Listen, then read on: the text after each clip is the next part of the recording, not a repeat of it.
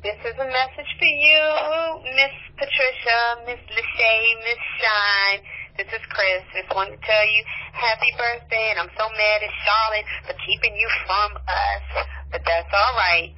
We love you. We love when you get to come home and when we get to come down there, so it always works out. Enjoy your birthday. And my two songs I picked for you were Private Joy, because you're the joy of our family, the joy of our lives. And I also picked, um, it was an Earth, Wind, Fire song, Can't Let Go.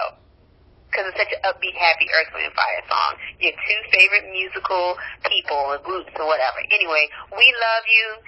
We miss you. Can't wait to see you. Happy birthday, love bug. And Patricia, wishing you a happy birthday. You care for us. You make us happy.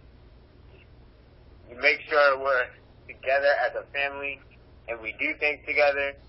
Um, lo- love you so much, Patricia.